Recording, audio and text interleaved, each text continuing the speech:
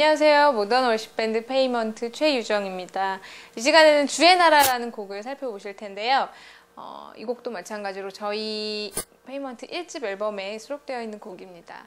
어, 이 곡은요, 특별히 피아노를 치지 않았고요. 그냥 오르간, 두 종류의 오르간만 사용을 했습니다. 그래서 오르간만 함께 살펴보실 텐데요.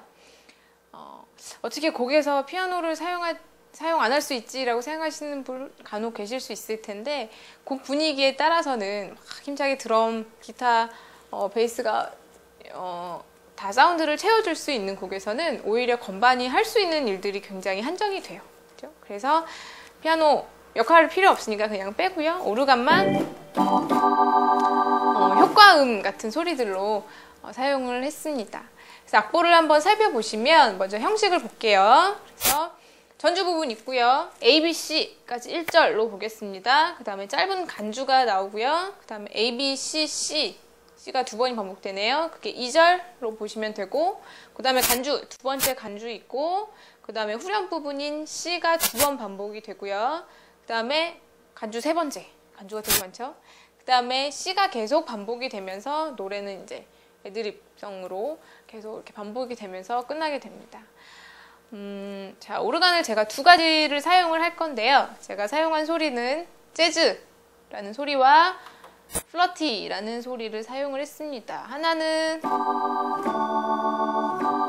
가장 보편적인 오르간 소리이고요. Fluty라는 오르간 소리는 뭔가 리드 악기 같은 소리가 조금 섞여 있죠. 음, 그래서 이런 소리 두 가지를 사용을 했습니다. 자, 악보를 한번 살펴보시면서 연주를 보고 또 말씀드리도록 하겠습니다.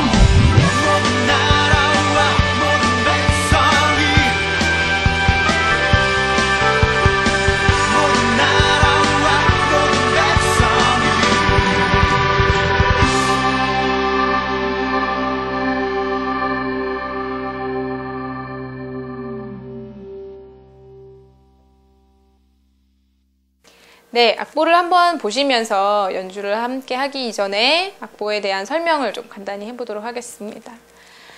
자, 어, 오르간 주법을 사용할 때요, 음, 우리가 첫 번째 코드로 사용을 할 수가 있습니다. 그죠? 처음에 전주 부분을 보면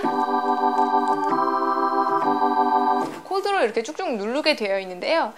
오르간으로 코드 backing을 할 때 주의점 한 가지는 무엇이냐면 코드를 자리를요 많이 왔다 갔다 하지 않게 한다는 해야 된다는 것이 있어요. 어, 만약에 C 코드에서 G 코드로 넘어간다고 한다면 C 코드면 도미솔, 그죠? G 메이저 코드면 솔시레잖아요, 그죠? 그러면 솔이라는 음이 중복이 되게 돼 있잖아요. 그러면 솔이라는 음을 어, 피아노에서 떼지 않습니다. 계속 끌고 있는 거예요.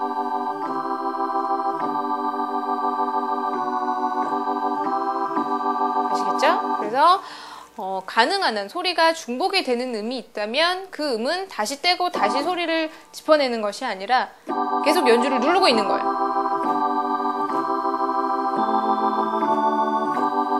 음, 그래야만 오르간의 특색들을 잘 살려서 소리를 낼 수 있습니다.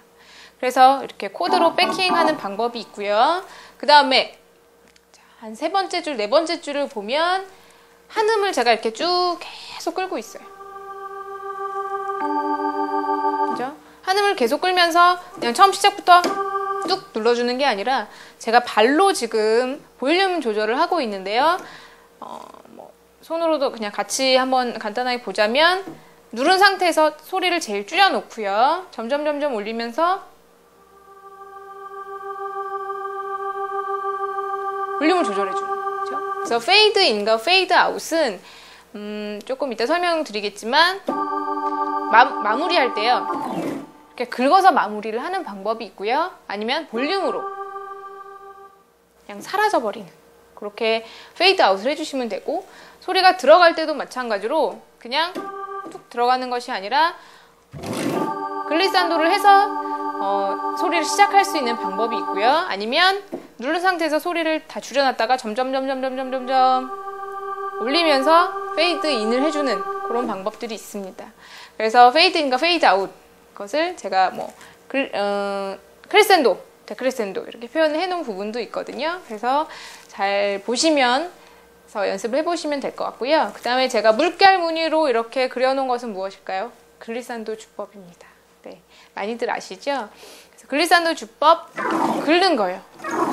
글리산도 긁는다 뭐 외우기 쉽죠. 그래서 물결 무늬로 이렇게 올라가 있는 글리산도는 올라가시면 되고요. 왼손을 사용해서 왼손 손바닥으로 그냥 건반을 쓰다듬어 주세요. 그죠? 밑으로 이렇게 내려가는 물결 무늬는 위에서 아래로 이렇게 쓰다듬어 주시면 돼요. 긁어주세요. 그 다음에 주로 이게 어떤 때 쓰이냐면 뭔가 내가 어, 새로운 시작을 할 때나 계속 크고 있는데 뭔가 더 크게 만들어서 분위기를 확 압도하고 싶을 때. 그럴 때 one, two, three, four, one, two, three, 그죠? 그래서 내가 이, 이 코드가 들어가는 요 부분에 강조를 하고 싶다면 그 전마디에서 one, two, three, four, one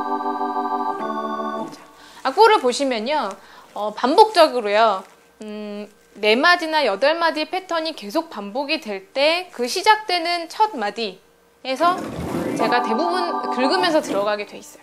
이제 계속 반복이 되기 때문에 그냥 계속 코드만 짚어주고 있으면 다양하지 않고 재미가 없으니까 그럴 때 한 번씩 중간에 이렇게 긁어주면서 아 뭔가 다시 시작이 됐구나 다시 시작이 됐구나 이런 느낌들을 주기 위해서 사용을 하는 주법입니다. 네, 음, 아, 자, 그 다음에 중간 부분, 간주 부분 비슷하게 리듬 악기들이 싹 빠지고 굉장히 조용하게 나오는 부분이 있어요. 그죠? 그 부분에선 제가 굉장히 조용하고, 어, 뭐라 그럴까. 어, 조용하고 되게 간결한 이런 오르간 소리를 사용을 했는데요. 음, 이 소리도 마찬가지로 점점 점점 크레센도가 돼요. 그래서 노래도 같이 크레센도가 되고 갑자기 확 제일 클라이막스가 되는 부분 그 전인데요. 처음에는 조그맣게 볼륨도 줄여놓고 음도 하는 정도만 그리고 두 번째, 세 번째 반복이 될 때는 볼륨 점점 점점 점 커지고 음도 하나씩 더 추가를 해서 눌러주게 돼 있어요. 그죠?